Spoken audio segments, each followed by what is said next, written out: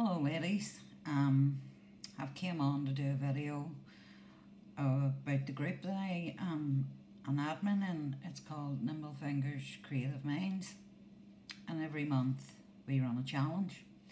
Now there's no prize for the challenge because you don't have to send anything in, you just have to post pics of what you've done. Um, it's a bit of fun, it's to try and get ladies to create and hopefully create outside their comfort zone, which definitely happened to me because I have never been a paper crafter. And the first challenge was picked by our admin, Patricia, and she picked a card. So I'd never made a card in my life before. This is the first attempt. And I started it with this plain striped paper added this lovely floral paper. Um, all the paper in this is out of a paper pad called Floral Muse, which I've had for quite a few years as I never did paper crafting. So I put down the base of this lovely floral paper.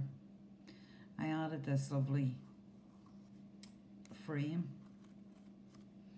and then put tea stained cheesecloth on. The image is um, covered in triple glaze. That's why I've been holding it up because you can get quite a glare of it. As you can see, the flowers are quite three-dimensional. The back I thought looked a little lonely, so I placed this fancy wee frame in, and then an oval disc of the floral paper just to finish it off. And that was the July challenge. For the month of August, uh, it was my turn to pick, and I picked tags. And you could make the tag out of anything you wanted fabric, paper, wood, or you could do all of it. So, this was my first tag.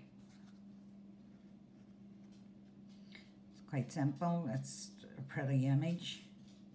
I added little rosebuds on ribbons a little wooden plaque with a rosebud on it and a fringe trim. I did the edges with Tim Holtz Tattered Rose and also did the veil of the lady with the Tim Holtz Tattered Rose. On the back, I just added this fancy shape, paper flowers and little diamantes, a ribbon bow, little flower trim and a rosebud and that was my first tag for the challenge.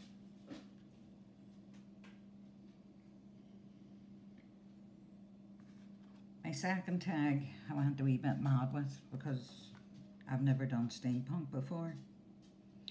So what I did was I stickled the edge, this is like a clock face.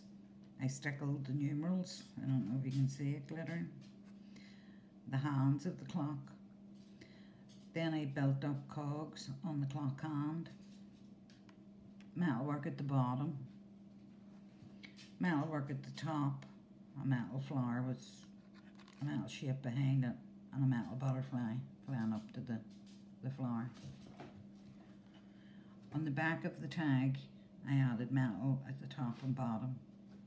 I fancy cut this vintage lady out of a generic paper pad I had. I don't know who would be the designer of it, but she's all fancy cut out. Everything was um, inked with Tim Holtz vintage photo, and that was my second tag for the month of August.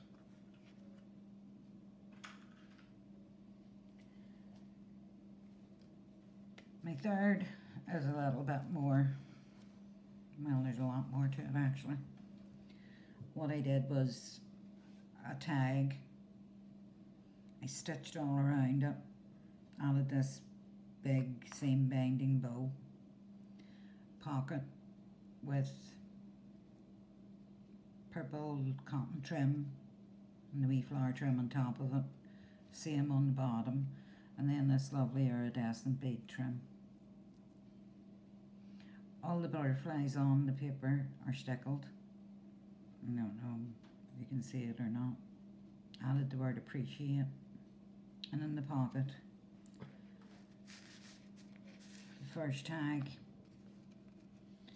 I added velvet rose, or sorry, velvet flower with two little silk rosebuds, a tiny seam binding bow, the word love, and a strip of the flower trim again, and it's stickled and stitched around.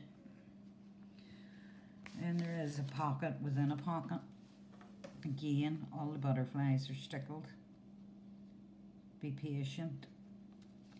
And in it, I placed this little tag. Again with the butterfly paper all stickled, the purple cotton trim and the flowers, and then a wee snippet of the flowers up here with the words be gentle. And that is the front, oh sorry, on the main tag it's all stickled. And the words you always be humble on. It and that's the front of it.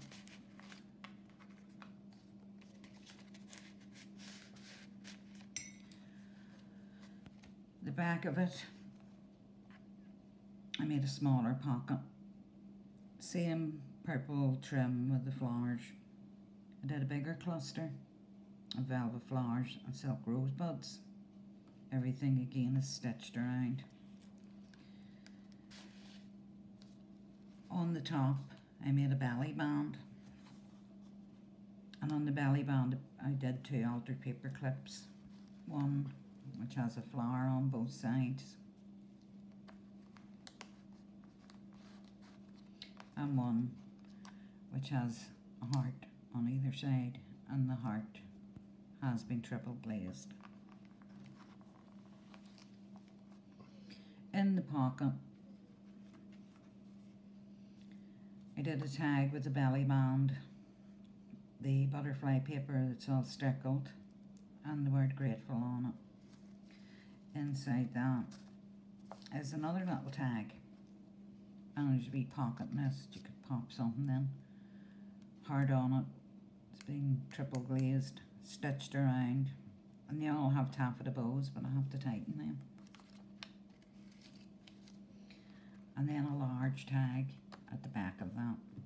Stitched all around stickled and a triple glazed heart placed upon it.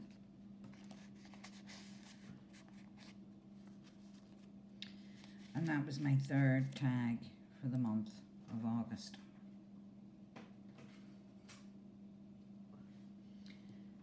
My last and final tag is very simple, very straightforward. It's a vintage style. Done in a vin with a vintage style cotton trim, a little bow. Same trim around the back, but quite a bit of writing space to jot down your thoughts or memories or whatever you like on it. And that's the fourth tag for August. I should have said that the the loaded tag pocket with the purple butterflies on, all that paper is from G Kerr on her Friday freebie, so thank you G. And that's it for this video ladies. Thanks for watching and I'll talk to you again soon. Bye for now.